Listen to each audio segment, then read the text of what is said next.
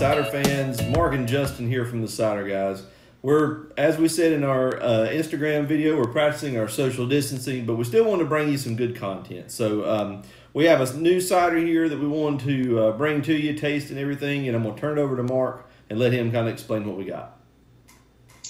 All right, today we have an Isastegi natural cider, and this is a Basque style cider from Spain. And I think this is our first international cider we've ever reviewed for you guys. Uh, we first tried this cider back, I think, two years ago during the Durham cider crawl, and we recently were able to find this at the Northern Spy in Durham. We picked up a bottle, and we thought we'd bring you our first international review. Um, one of the really cool features about this cider is it comes with this special cork. Um, you open it just like a normal wine cork, except you don't pull it out all the way, and it has spaces here on the side, and you have, it's called a pour cork, and you pour it with the cork half out. And they did that. They just pour from a. They do that to get a little aerate and then from a little flavor enhancing too. So uh, hopefully Justin showed you how to pour it from a little bit of height.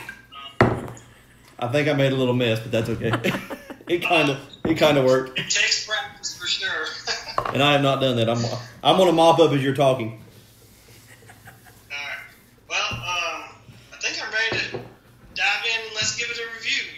Oh yeah, man, I'm ready to go. Yeah. Let's do it. So um, on the nose, it's just it's very crisp. Just a very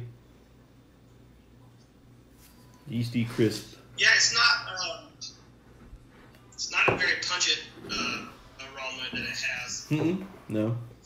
But right up front, I mean, this is this is a dry cider, from our experience with the international ciders, they really do dry ciders and they do them well. Oh yeah, and you can tell it's very cloudy. It's natural, unfiltered. Um, I'm sure you can see it in my glass a little bit better here. Um, very light straw colors. Um, it's steel. Um, about the only uh, about the only bubbles you're going to get in it is if you try to you know pour it from the height, then you'll get a little aeration in it. But otherwise, it's a it's a pretty steel cider. So.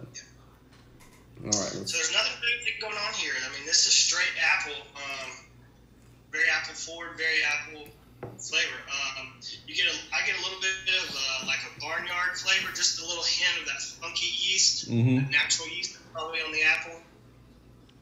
Um, yeah, it's a really great flavor. Um, oh yeah. I don't think I've had an cider yet that I haven't enjoyed. Right. Um, I read an article on it before we uh, before we got started here, um, and they were talking about um, it had citrus, kind of a citrus aroma and everything, um, and almost a, uh, a, vinegary taste to it. Um, I do kind of get that. It is it is tart. Um, it is astringent.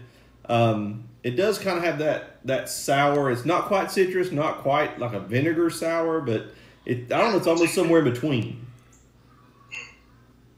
So.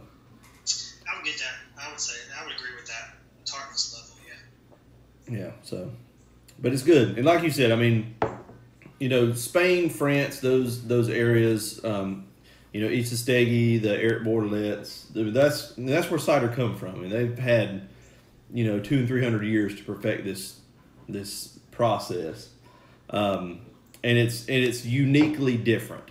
Uh, it's nothing like you're going to get here in the states.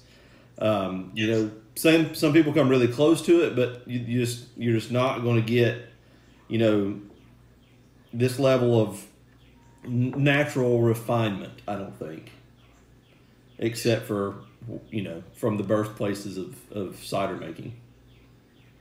Yeah. And this one, I mean, some of those international ciders can get a little pricey, but mm-hmm. for the flavor you get from this, this is a, in a very affordable uh, cider, I think, for everyone. So if you, I mean, comparable to U.S. ciders, really. Yeah, and um, I was looking on the um, on the bottle here on the label. It's actually imported by a place in Chapel Hill, North Carolina. So, um, yep, says it right down there. So, uh, so yeah, so it's brought here, especially locally to us. Maybe not locally to you guys, but um, it is you know at least on the East Coast. So, should be fairly easy to find.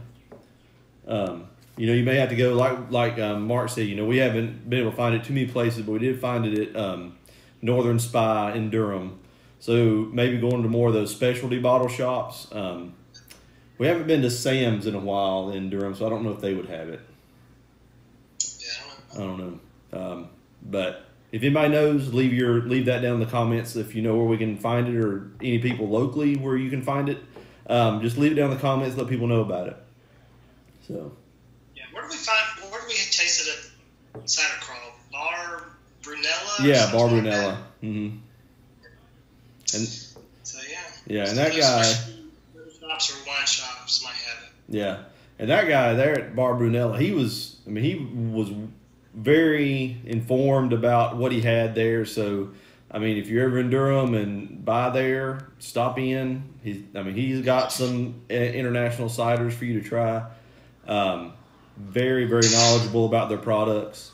Um, and if you've got a place around where you're at that is like that, you know, go there and they can tell you about these things and show you some different things. Um, that's where we learn. Yep. And you can always come to us, and we'll try to teach you the best we can. Best we can. Yeah. That's right. So, all right. Anything else you want to add to this one? That wraps it up for me. I think. Yeah, I think me too. I think that's we've pretty well covered. Like just uh, quite a new experience for us, ain't it? yeah, yeah. This is this is weird. Yeah.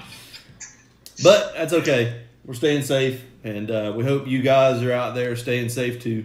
Um, practice your social distancing. Wash your hands. You know, don't touch your face. All those good things. Um, Yeah. but uh, but just you know, be smart, but still, you know, try to have as much fun as you can. We're trying the best we can. We're doing. We're working with what we got. Thank goodness we live in an age where we have Zoom and ready internet and all the bells and whistles where we can do things like this. Yeah. So Yeah. We just hope we get it. We're able to be out and, and see you guys soon. absolutely, yeah, know we haven't been yeah, yes. Invent. Uh, yeah, we're hoping. now, have fun later. Say that one more time. That kind of broke up. I said we'll stay at home now and have fun later. That's right. Yeah, there you go. That's exactly right. And maybe the next time we get together, maybe we can do a really long pour with this one, and we'll see what we can. There you go. We'll see what we can get on camera. See how high we can get. There you go. There you go. So, all All right, righty. guys, y'all stay safe, and uh, we'll hope to see you soon. Absolutely. As always, from the cider guys. Cheers. Cheers.